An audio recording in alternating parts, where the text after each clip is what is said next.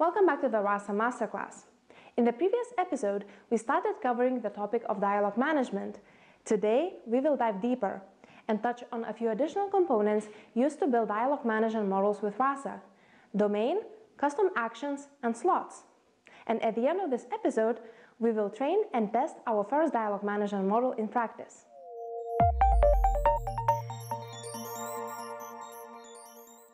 Let's start with a domain. A domain is a very important part of building a dialogue management model with Rasa. It defines the universe in which an assistant operates, what intents and entities it is able to understand, which custom actions and utterances an assistant should be ready to respond with, and how those utterances look like, and what information an assistant should remember throughout the conversation and use in a certain context. Let's take a look at the actual example to understand the domain a little bit better. Domain is usually specified in a domain.yaml file of the project directory. When we ran Rasa init function, we got a domain which was automatically created for a moodbot assistant. It's a very nice quick start for creating a custom domain, so let's see what's in here.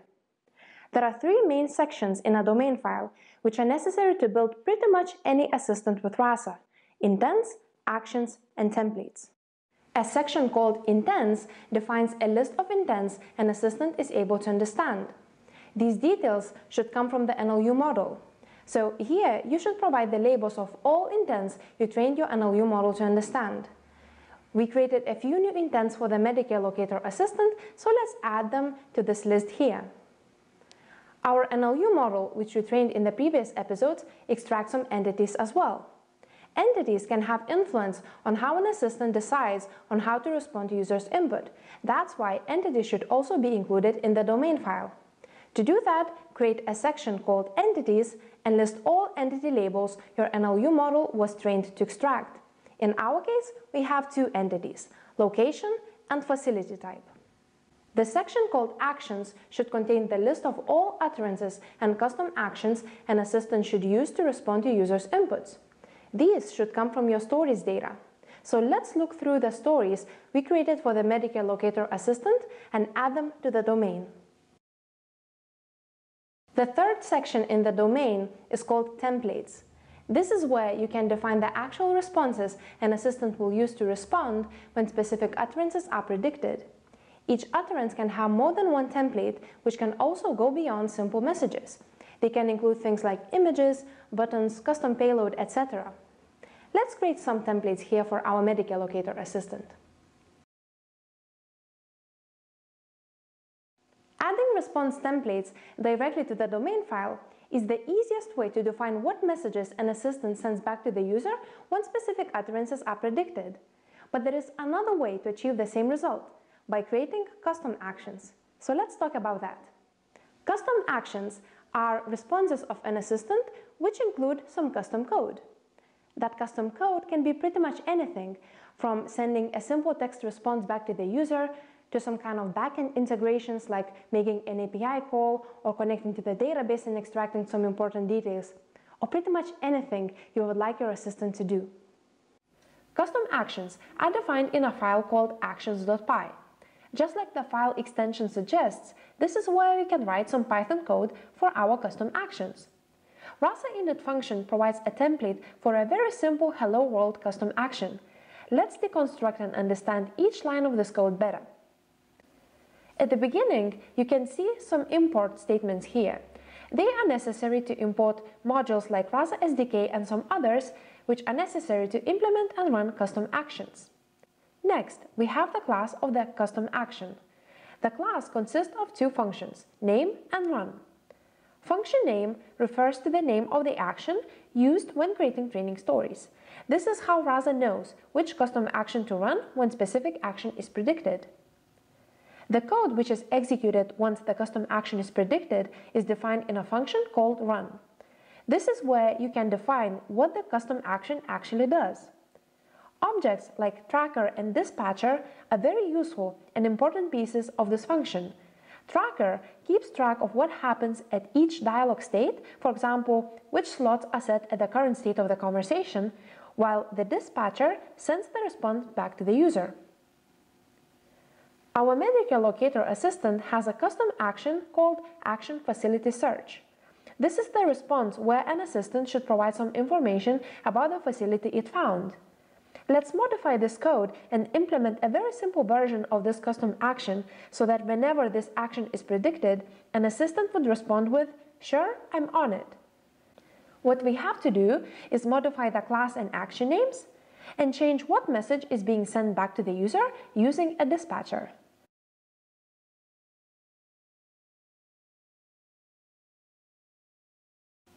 An important thing to remember about custom actions is that the names of these actions have to be included in a domain file. So make sure to always double check that all of your custom actions are listed in a domain. As you can see, domain, NLU training data, and stories data files are quite closely connected.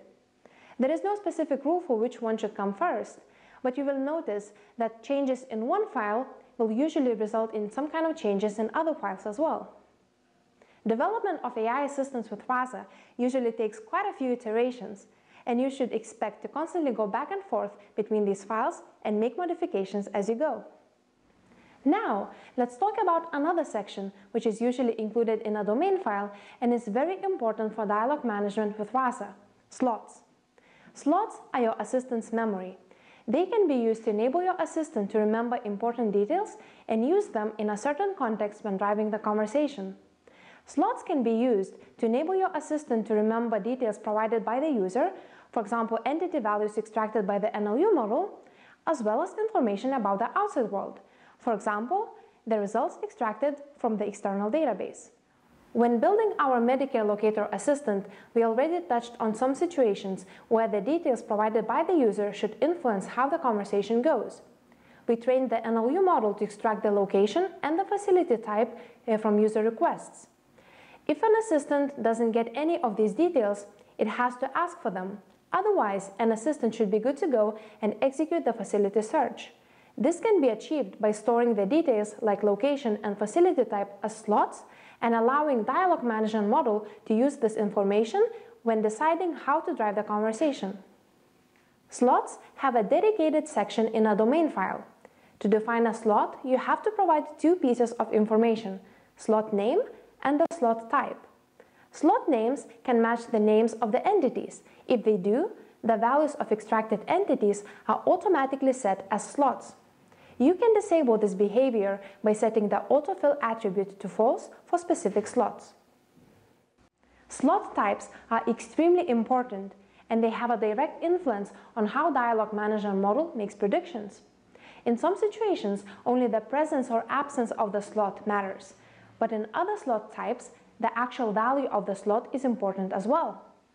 Let's go through the slot types currently available in RASA and discuss them in more detail. Text. A slot of a type text only tells RASA whether a specific slot has been set or not. The actual value of that slot doesn't make any difference. Slots of a type text are very useful when modeling the situations where the dialog should take a different turn depending on whether or not users provided specific details. For example, if a slot location has not been set, an assistant should ask for this detail. Otherwise, it should be good to move forward and drive the conversation further. Boolean type. This slot type is very useful when dealing with details which can get two possible values, true or false. Here, not only the presence or absence of the slot value is important, but also the actual value makes the difference. A dialog management model checks if the slot value is true and takes that into account when making the predictions for the next action. Categorical. Here, both the presence and the actual value of the slot matters.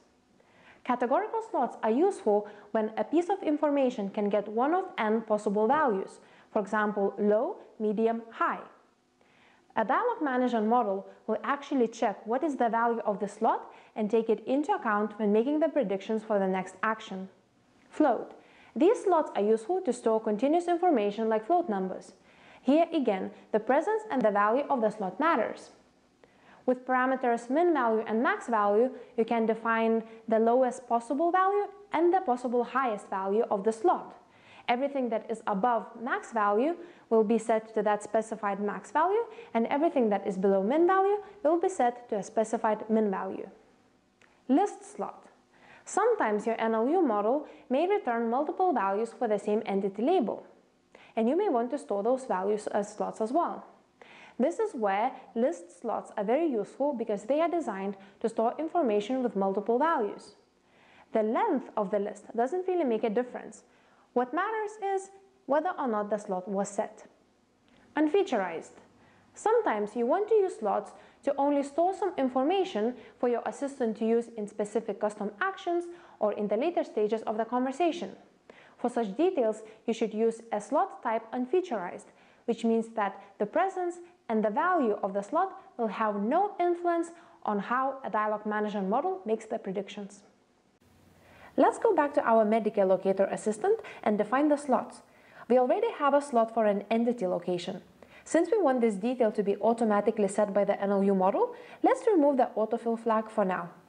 Facility type is also a good candidate for a slot since it could influence the dialog and is a necessary detail for an assistant to remember in order to give a good suggestion. For the same reason, let's set the type of the slot to text because depending on whether the slot is set or not, an assistant should decide what to do next, ask for this detail or move on with a search. There are a few additional things where slots are very useful. For example, they can be used when creating the responses of an assistant. Slots keep the values of details which can be added to the utterance templates simply by providing the slot name in the curly brackets. So for example, this is how an assistant can reuse the extracted value of the facility type in the utterance where an assistant asks for the user's location. If the extracted facility type is a hospital, it will be the value that an assistant will use when providing the response. Slots can also be used in custom actions when running backend integrations, querying databases, making API calls, etc. Let's update our custom action to demonstrate how this works. A tracker keeps track of the slots that are set at each dialog state. The values of these slots can be returned using the getSlot method and providing the name of the slot we would like to get at that moment. So for example, we can enable the custom action to extract the user's requested facility type and use this detail to find an address of the facility that meets the user's requirements. For the sake of simplicity, for now, let's just hardcode a suggested facility address. Slots can be set by not only NLU, but custom actions as well. This is important when your assistant returns some important details by running backend integrations which should be saved and used later on throughout the conversation. For example, when our Medicare locator assistant finds an address of the facility to send to the user, it is useful to save this piece of information for the later use in case user asks for some follow-up questions. You can set slots in custom actions using a slot set event. To enable our custom action to set slots, let's import this event and update the return statement of the run function with a slot set event, providing the slot name and the value.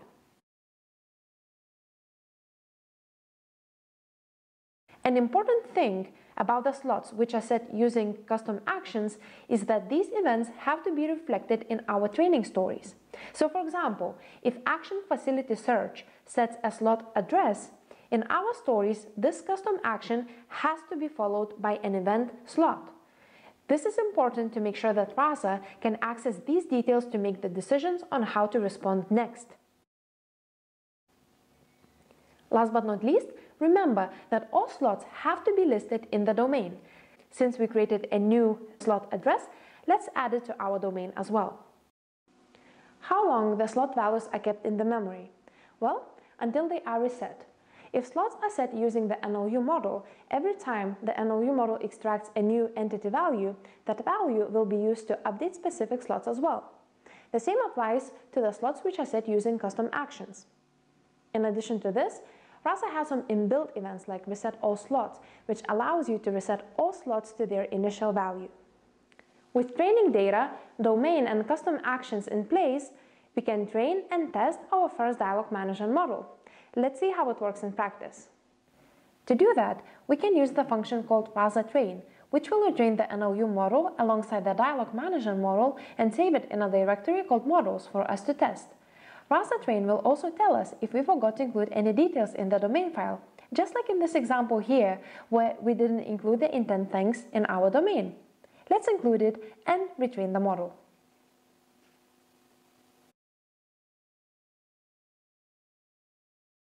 Custom actions run on a different server than the models. Rasa will call an endpoint which you can specify when a custom action is predicted. This endpoint should be a web server that reacts to this call, runs the code, and optionally returns information to modify the dialog state. A default configuration of the custom action server is provided in the file called endpoints.yaml.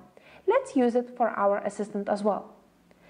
Now, we can start the custom action server using the Rasa CLI function Rasa run actions and load the assistant for us to test using the Rasa CLI function Rasa shell.